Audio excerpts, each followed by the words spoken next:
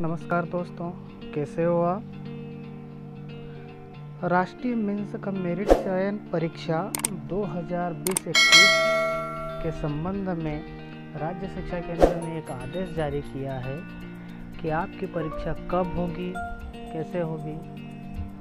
तो चलो शुरू करते हैं।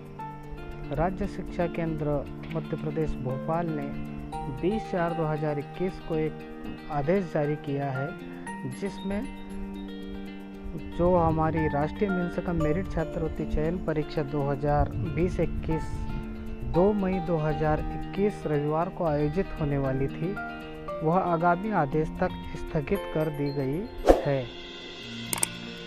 तथा उक्त परीक्षा एमपी ऑनलाइन के माध्यम से आवेदन की तिथि 15 चार 2021 को संशोधित कर 15 मई 2021 कर दी गई है।